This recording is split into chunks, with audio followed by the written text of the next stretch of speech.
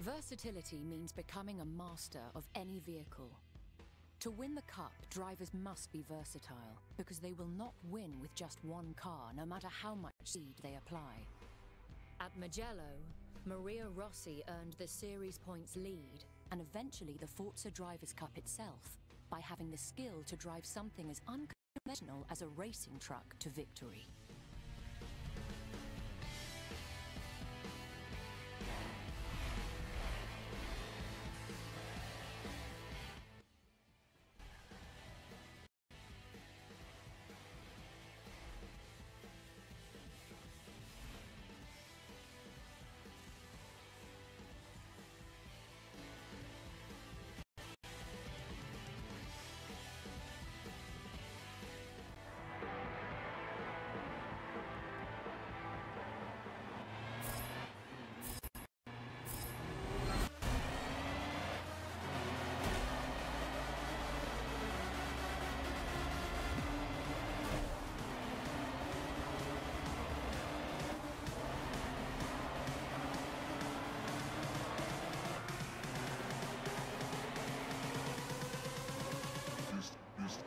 Escalate.